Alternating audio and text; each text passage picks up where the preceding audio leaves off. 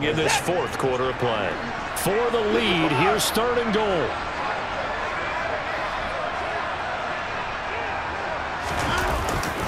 On the jet sweep, here's Cooper. And he's across for the touchdown, and it's likely the game winner here in the closing stages. Boy, backs up against the wall, Charles, and they come through with a phenomenal drive to take the lead in the final moments. Championship effort right there. Marching almost the length of the field, coming through on their final opportunity to earn the win. I think they'll remember this one for a long time, and their fans will too. They'll try and run it here. And he'll get into the end zone. So now a field goal would only tie as they've upped their lead to